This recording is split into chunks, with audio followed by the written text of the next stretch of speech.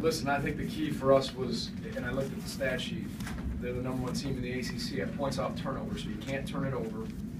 You've got to offensive rebound against the zone, and you got to bang some outside shots.